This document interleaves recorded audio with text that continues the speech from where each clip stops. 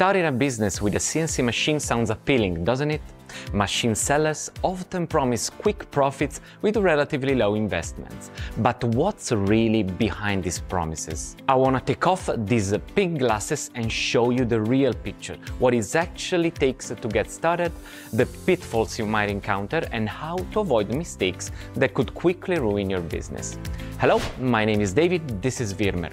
Make sure you're subscribed to the channel and let's get started.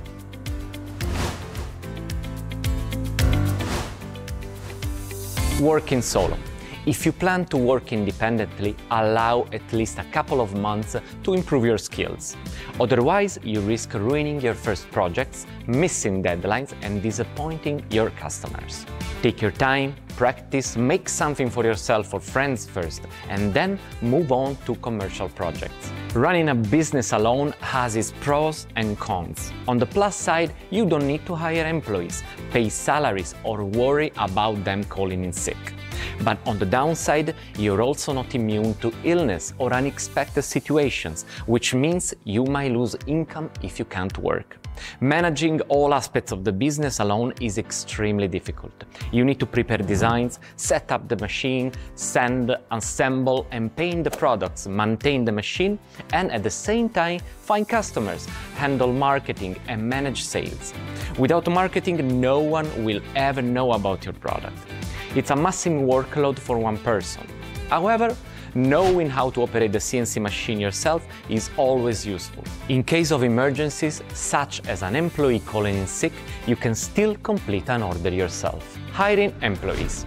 Hiring employees allows you to focus on managing the business rather than working on the machine. However, this comes with its own challenge, finding qualified specialists.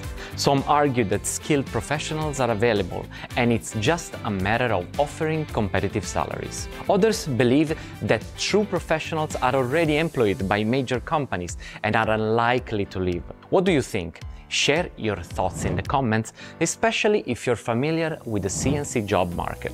Either way, this approach increases labor costs. Yes, it frees you from performing every operation yourself, allowing you to focus on business expansion marketing, customer acquisition, and process management. But keep in mind that new employees usually need time to adapt. Choosing a product to make. The key to any business is understanding what and for whom you will produce. When you don't have specific orders, you can use the machine for cutting materials. However, making a living from cutting alone is difficult. This market is saturated with competition. To make money in this business sphere, you'll need bulk orders and multiple machines running non-stop.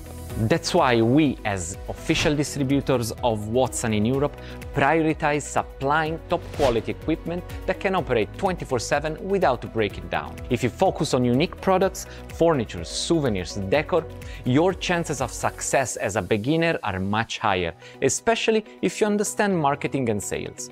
We strongly recommend testing the market before purchasing equipment. Select a product, find a contractor to produce it and try selling it. This will help you to determine demand and whether the product is profitable.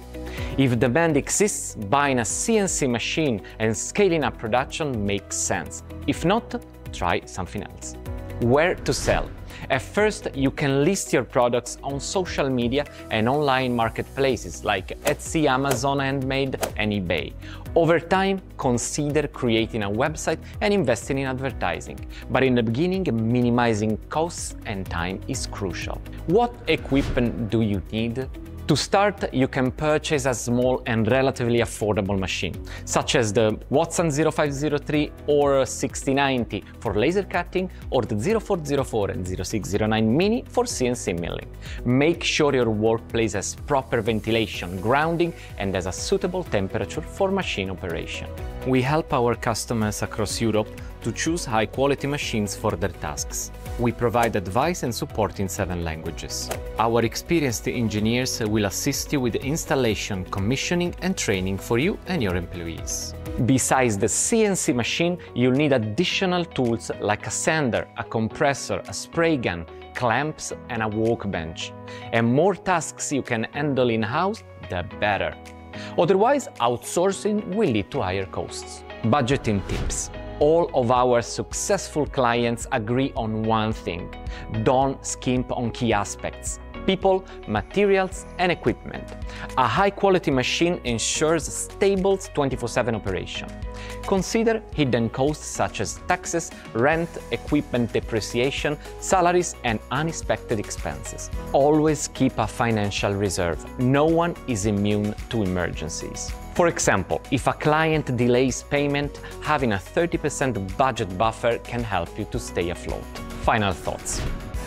We don't just supply CNC machines across Europe, we also help our clients with installation, training and support. Our experienced engineers will teach you how to use the equipment, maintain it and set up your workshop for maximum efficiency.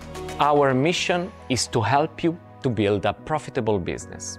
We hope this video helped you weigh the pros and cons of starting a CNC business and avoid common mistakes.